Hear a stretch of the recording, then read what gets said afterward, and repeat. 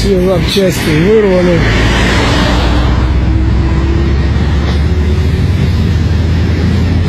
Вот так быстро люди у нас в России ездят. Ему повезло, блин. Ну да, повезло не то слово. Малый в рубашке родился. Просто в рубашке. Я бы даже сказал не в рубашке, а сразу с иконкой и с крестиком.